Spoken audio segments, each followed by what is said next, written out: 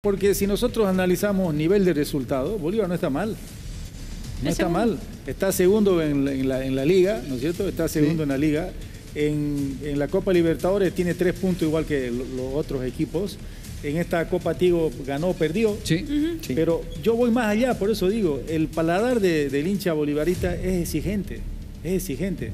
Entonces quiere que su equipo, además de ganar, que juegue bien. Aquí se importa la forma, profe, ¿no? E importa muchísimo la forma, ¿no? Este, Yo- Strong es diferente. Yo tuve la oportunidad de dirigir los dos equipos y en Strong es diferente. En Strong si vos ganás sobre la hora y, este no pasa Lo nada. más Y si- los tigres, claro, a los tigres disfruta más y, y por eso recuerda, ¿no? La famosa frase ganaba a los tigres, digamos, ¿no? Claro, Eh, sí, sí. Strong ganó a los tigres porque la la gente está acostumbrada, no pide mucha, mucha, mucha. este, Ahora, perdón, profe.